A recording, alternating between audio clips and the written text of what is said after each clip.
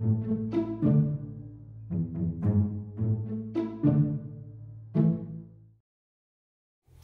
me give you a little bit of history on Battlestar Galactica, just in case you've never seen the series or reboot. The success of Star Wars didn't just influence Paramount to bring back Star Trek, Universal Studios also wanted that money, so they hired Glen Larson, the creator of Knight Rider, to come up with a space action series for TV. It would have a massive budget and visual effects like Star Wars. The series banked on its scope. The good thing was that the show wasn't just about the effects, its story was what people gravitated to. Yeah, People will always say it's a knockoff of Star Wars. It took lots of ideas from it. Fox and George Lucas even tried suing them over various things, which was dumb since Star Wars itself took ideas from other things too.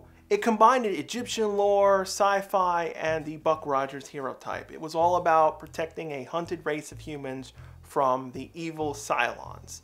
The whole goal of the series was to find Earth, after they had found out it was one of their lost originating worlds since they had no place to flee to. Stargate got a lot of ideas from this show, but due to its very expensive budget, the series was canceled with an unresolved cliffhanger. There was a writing campaign, lots of people protested, and there was blame with the show being moved around in the time slots that caused the viewership to drop. So Universal wanted to bring it back. But they did make one mandate. It must be made cheaper. So the entire series was restructured. I did agree on some of the changes. One of the biggest issues the first series had was the size of its cast. It was huge. There were lots of characters that always got buried because several of them overlapped in skills or purpose on the ship. They didn't have much to do past early episodes of introducing us to the universe or a character. Very few cases where they could get everyone involved. They even had a pet animal to deal with in a costume. The only episode that got to use everyone that I could think of was when they had to deal with a fire on board, so a lot of main cast members were dropped. I wouldn't have minded this so much, but they never fully explained what the hell happened to everyone, and they got rid of most of the primary cast. Imagine the third season of Beast Wars removing Rat Trap, Cheetor, and Rhinox, with Optimus Primal only having Silverbolt and Depth Charge, then never saying what happened. That's what they did here. The series resumes after a 20 year time jump between the first and second series. So it's throwing a lot of new stuff at everyone. The next major change was the reduction of its budget. This means we won't be getting much when it comes to space battles. I don't mind that. When we do get space battles, it's a treat. TNG had a tight budget. They were able to knock out some great action episodes every so often, but they also made good small episodes. 1980 failed hard here. If you thought Andromeda Season 5 was bad when they were trapped on that planet for half a season, 1980 was worse. It virtually never took place in space, and when it did, it was 95% stock footage from the first series. Every which way, they avoided doing space episodes past the first few. This means almost all of the episodes take place on modern Earth, not in a good way. At the end of the first season, they revealed that Galactica got in range of Earth's transmissions, and what we heard was the moon landing video. Now, they could have used the distance time dilation as a way out of this issue, but by shooting in contemporary 1980, it saves a whole lot of money. The first few episodes, I think they're okay. It's setting stuff up, we have two new cast members, new technically. One of them is supposed to be a character from the first series grown up. If they never mentioned it, we wouldn't even have known that was supposed to be him. That's how different the character was. This is probably the first time people saw Kent McCord, who played Crichton's father on Farscape, with Barry Van Dyke from Diagnosis Murder, both playing Captain Troy and Lieutenant Dillon. They completely missed with these characters. They heavily relied on the whole fish out of water trope, but it kept getting more annoying as it went along. The show became this mess of two actors being super serious, almost never getting to be human, then the other half of the show being a joke, with no character development through the 10 episodes. Remember with the first series, the colony was running for their lives, the Cylons eradicated whole planets, they were able to find them wherever they went, they got into fights virtually every episode. Even the first 1980 episodes showed what could happen if the Cylons found Earth. You don't have to worry about that. The show turns into elementary school field trips mixed with Captain Planet. I wish I was joking. I don't mind the whole Earth setting. You could do some interesting episodes with that. You got spaceships, advanced technology, the Cylons are right on your butts. Now the stakes are bigger. You got to stop them from reaching Earth and Earth finding out about you or them. But no, they don't have the budget. All we can afford is have these flying space bikes that barely get used, have the ability to cloak ourselves and our ships so that we don't have to spend money on visual effects, then babysit a group of kids who all gain superpowers for 40% of the series. Basically, Galactians, nice going riders, they should be called Kobolians. You don't name species after the ship. Gain superpowers a la Superman style, so they can jump really high and have super strength. Almost like this would give them a good advantage over Cylons. Instead, just use this in an episode about them cheating in a baseball game. One of the most bizarre changes the show did was have Adama answer to a kid. Adama was basically the field commander and head of the council in the first series, but this time taking orders from Dr. Z, a super intelligent prodigy. He does have some sort of abilities, but they don't bother to really get into Dr. Z's background until the last episode. And still, they can't explain him right. 1980 was throwing out things everywhere hoping something stuck. I don't care how smart or gifted a kid is, he doesn't have the experience that Adama does from wars. He's a politician. The knowledge you get from seeing how people act in situations is far more valuable than you knowing how fast a Viper can reach a target. You're also making one of the most important leads be second fiddle to some rando.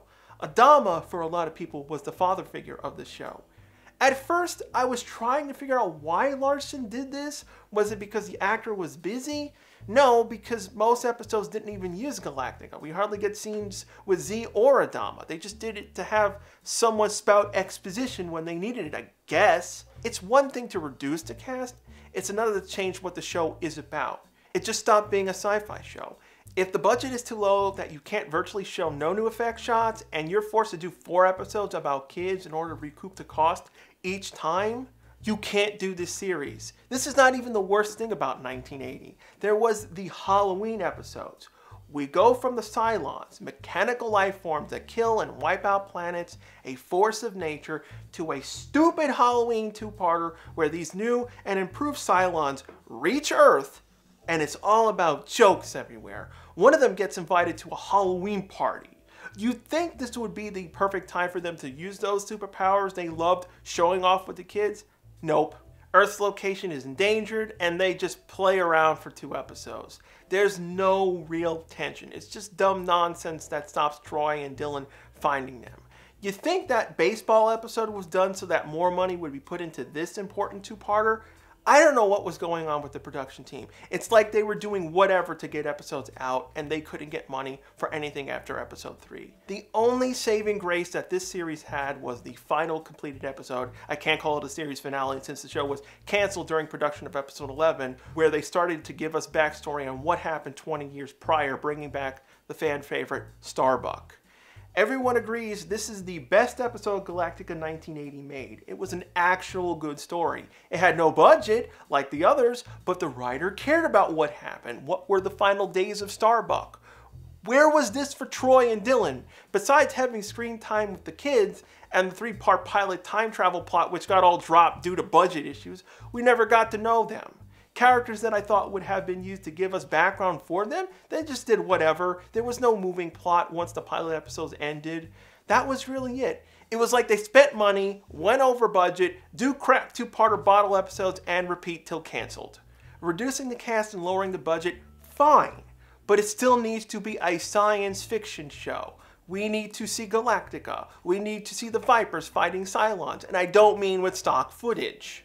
The show doesn't even explain where any of the ships are. Was the colony nearby Earth? Did you have to travel for several days to reach Earth? That's how poor the show explained things. If I got a chance to fix a series, the first thing I would have done was get rid of the kids or have them be a part of one episode only. Dillon and Troy had something going on in the pilot. They had met this journalist, Jamie Hamilton.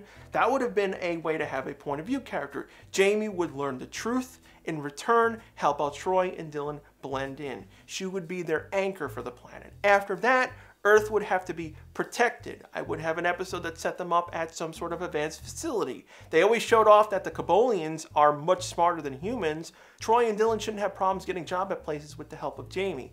That way, they could start transferring materials to Galactica to replenish supplies, power, and weapons, and I would have had the Cylons find Earth quickly. The whole first season would be about preventing an all-out assault on the planet. The superpowers thing, I would keep. I'd use it to help them fight off any Cylons that got on the planet. The one thing I also would take would be the more advanced Cylons introduced in the Halloween episodes. They were created so that they could learn about humans and become human, meaning they could mask their real appearance as a human. I know I'm ripping off the reboot series, but that way it becomes this cat and mouse thing. Cylons are undercover, they have to prevent the countries from finding out their existence. Supplies have to keep going to Galactica and the other fleets to defend Earth, build up the pressure till something gives, all while explaining what happened to the missing characters. Who died, who decided to call it quits, because there had to be some that didn't want to do this anymore. Show the boxy side of Troy's character more often, and definitely not leave those two idiots as stiffs. Dr. Z, I'd keep him but he wouldn't be leader. I'd still use him as the only connection we got to Starbuck. If they had gotten a little more money, answered what went on in the past, and kept that drama up, because the main reason why we tune in was this small group of people and ships barely surviving as they got attacked daily, going from planet to planet, meeting aliens, getting some backstory on Cylons. Some of that still needs to be kept in 1980. With the exception of the final episode, don't watch this series. Watch the original series and the reboot series. They don't link to each other. There were several changes done between the two shows. Both are unique to watch, and the reboot is one of the few reboots that I will say is good.